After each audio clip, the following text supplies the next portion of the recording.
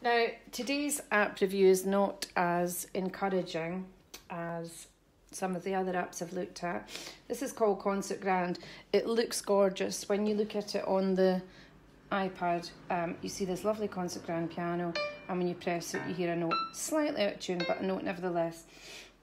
And you can rotate the camera and do all sorts of stuff. However, the actual tunes are not that good because the most common one, which I was always asked for in hotels, is Happy Birthday. But as I'm always telling people, when they're doing a Happy Birthday, that's the wrong chord. But when you're doing Happy Birthday, especially in the key of G, you don't want to do a second inversion with a D on the bottom. It sounds really weak. You want a G on the bottom or a G on the bottom. Now that should be C